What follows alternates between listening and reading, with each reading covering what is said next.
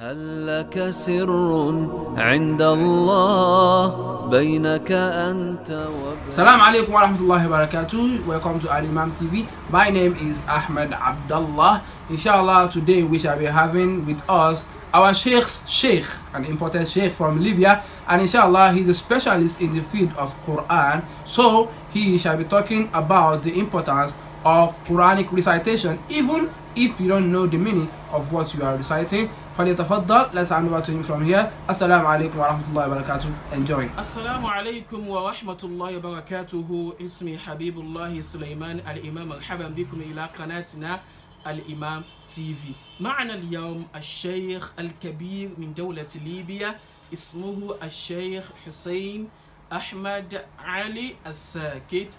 إن شاء الله يتكلم حول فائدة قراءة القرآن حتى يعني إن تكن لم تفهمه فليتفضل مشكورا مأجورا يا شيخنا.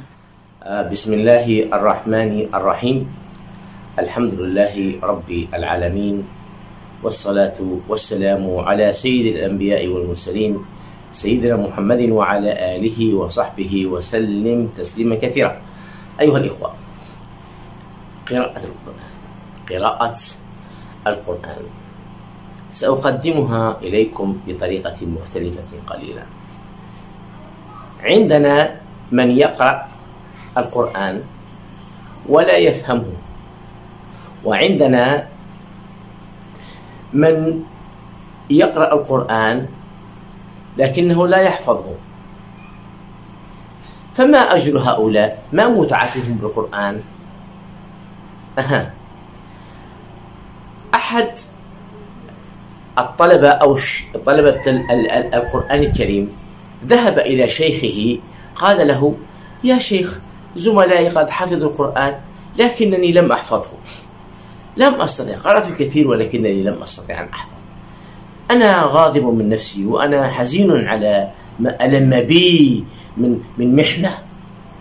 فقال له الشيخ خذ هذه السلة. هذه السلة تلك السلة التي نضع فيها المهملات من البلاستيك. ها.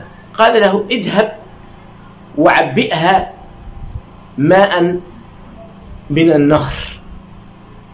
استغرب الطالب كيف أعبئ سلة مخرمة من كل جهة؟ لا لا تحمل الماء. لكنه احتراما لرأي شيخه ذهب إلى النهر. حاول أن يعبئها مرة واثنين وثلاث. لكنها لم تمتلئ. فجاء إلى شيخه. قال له يا شيخ أنا والله حاولت مرتين وثلاث. قالوا اذهب مرة أخرى. حاول مرتين وثلاث أخريات. فحاول مرتين وثلاث أخريات. لم يستطع أن يملأ هذا البلاستيك الم- المثقوب. فرجع إلى شيخه. قال له يا شيخ والله لم أستطع. قال له حين أخذت هذه السلة وذهبت إلى النهر كيف كان حالها؟ قال كان حالها م- مليئة بالغبار الفحم والأوساخ. قال والآن؟ قال قد نضفت قال وكذلك القرآن وكذلك القرآن. حتى وإن لم تحفظه حتى وإن لم تفهمه بكثرة قراءتك له يجلي عن قلبك الأدران. وهذه معجزة من معجزات القرآن. حتى الذي لا يفهمه من إخوتنا العجم غير العرب يستطيع أن يستمتع به قلبه وينظفه. فاقرأ القرآن بكثرة.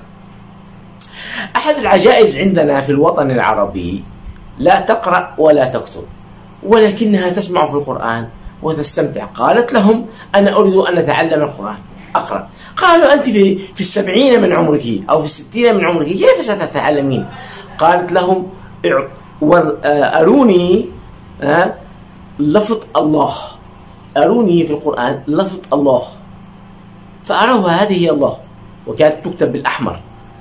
فبدأت تقلب صفحات المصحف.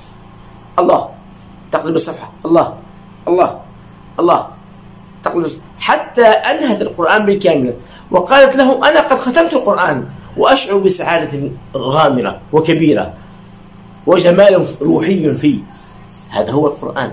ثم بدأت تتعلم في الحروف ثم بدأت تحفظ. ولم تنتهي من الثمانين حتى حفظت القرآن كاملا. صلوا على سيدنا محمد. وصلى اللهم وبارك على سيدنا محمد وعلى آله وصحبه وسلم. ونلتقيكم في تسجيل آخر إن شاء الله. آه، أيها الإخوة لا تنسوا الاشتراك في قناة الإمام. الإمام تي في.